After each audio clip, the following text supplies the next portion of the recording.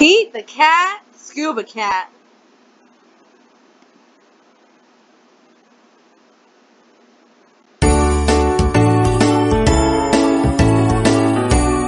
Welcome to the wonderful world of reading.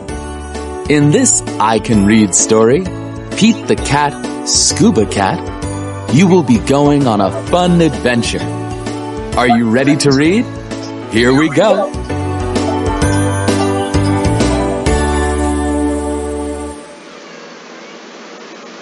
Pete the cat is excited. He is going scuba diving. Pete puts on a mask and fins. He has a tank full of air.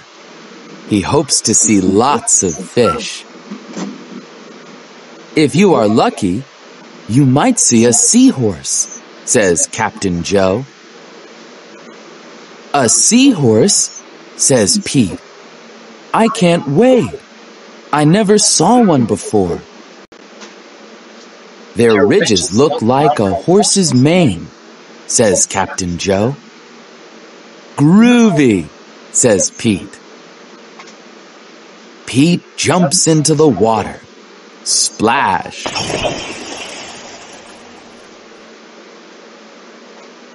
Down, down, down he goes. Up, up, up go the bubbles. Pete looks for a seahorse. He sees a swordfish. Pete swims out of its way. Pete waves to a stingray. It has a long, skinny tail. That's not a seahorse, thinks Pete. Pete looks high and low for the seahorse. Then he feels a tickle. Pete sees a school of fish. They all look alike, except for one. It puffs up. It is a blowfish.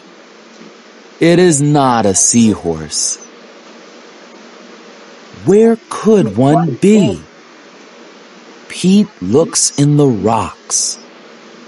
What is that? It is an octopus. It has eight legs. It is not a seahorse. Pete feels a tickle. What could it be? Pete turns. He sees a cave. Is there a seahorse inside? Pete sees a crab with claws. A seahorse does not have claws, Pete thinks. The cave is getting darker. Pete feels a tickle. Then he sees an eel. Pete swims past it. It is too long to be a seahorse. Oh no! It is too dark to see.